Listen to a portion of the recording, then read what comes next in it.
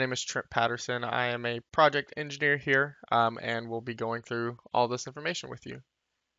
So, as we kind of get started here, so what exactly is reverse NC?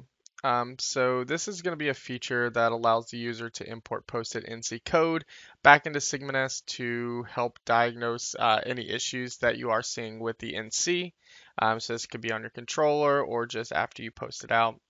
Um, this also gives you the ability to recover geometry um, if a part file has been lost as well. So how this works all in all, um, what you'll do is you'll take your imported G code that you've already posted out. Um, it will go into, you'll import it through the reverse NC option. Um, and then what you'll get is uh, seed parts or nest. So this is be this can be where you can check on the part. Um, you can also create a part from this, um, so on and so forth. So now with this, um, there is some limitations of reverse. So this does not work with the following. Um, so bevel programs, uh, just because we're not able to bring over uh, the beveled edges, things of that nature after it's been posted out. Um, punching machines, just because the NC contains point information um, that can't be brought back over. Machines with reposition, such as just telling the machine how to actually move, um, can't be brought over with the uh, NC import, and then also machines with subprograms. so with this, how do you actually set it up? So Every installation comes with RevNC processors. Um, this is going to be located in the SN data under the RevNC folder, so a .rev. From there, you'll open the rev file with Notepad or Notepad++.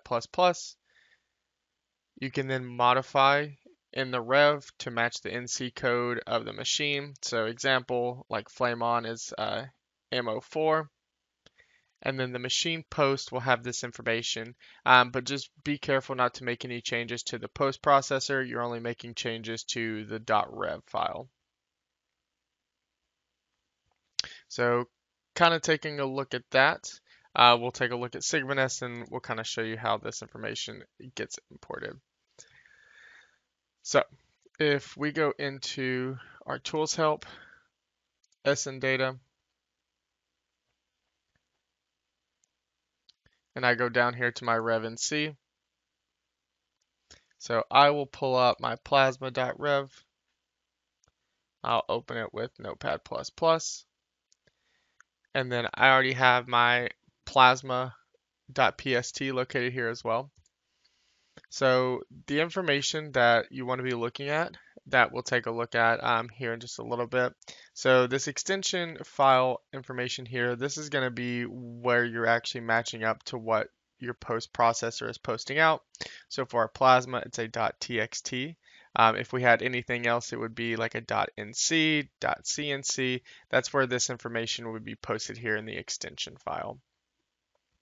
Um, flame on and flame off. This information will be what you're going to get from the post processor itself. So if I just do,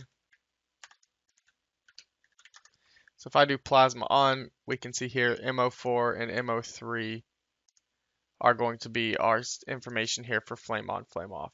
Same thing kind of goes from absolute and incremental. Uh, you want to find the G codes that call out that in your post processor.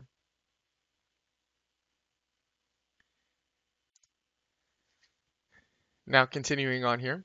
So what is this feature and how exactly can I start using it? So under the Workspace tab, you're going to click the drop down for import. You're going to click on reverse NC import. You're going to select the correct file extension. You're going to select the NC file import. And then you're going to left click twice on Workspace to actually post that part. So going back into SigmaNest here, we'll take a look at that. So if I go into import, you'll see right here where it says reverse NC code. What it's talking about, that correct file extension is down here. So these are going to be our different um, reverse NC file types. For this example, like I said, we're just going to use the plasma. So I can grab this one right here and click open. You're going to be brought with the converter. And then over here, it's going to show like the reverse NC code. So if I left click once, we'll see the part. I can still move this around, but if I le left click twice, I can actually put that part down. I can check on the NC, and then you can also, like I said, make this into a part if need be. We also have the ability to bring over complete nest. So if I go back into my reverse NC code, and we'll just say I want to use 19. So if I click open, it's going to go through and show how many lines and arcs and tell me that my process was completed here. I'm going to go ahead and click done. And then what we're greeted with here is the whole nest, just like the part. If I try to move this around, I still can. Once I left click again, it'll actually place it. And then you can actually check and see how your NC looks after it's been posted out.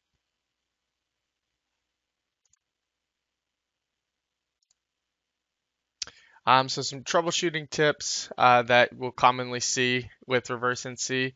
So what happens if you can't see the NC file?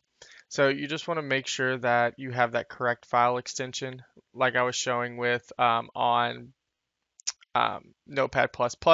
You want to make sure the extension up top, like the .txt, is matching what you're actually posting out within inside of Sigma Nest. Um, let's just say you also imported a bunch of circles or incomplete geometry. So for that, you want to change the arc center to ABS or incremental. Um, so absolute or incremental. So right inside of here, so if we're in our plasma.rev file, um, 102, our arc center, if it's coming in with incomplete geometry or just a bunch of circles, uh, try changing this. So if it's absolute, try changing it to incremental um, and then vice versa. And then what happens if it imports nothing? So that you just want to make sure that you're using the correct rev file.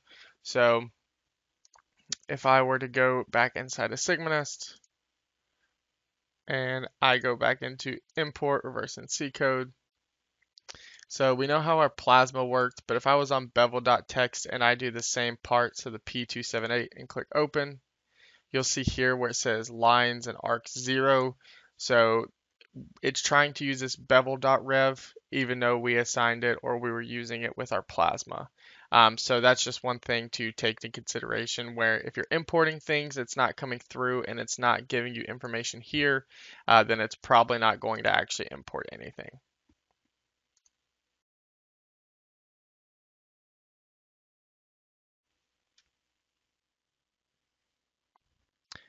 So with this, we do also offer alternative options.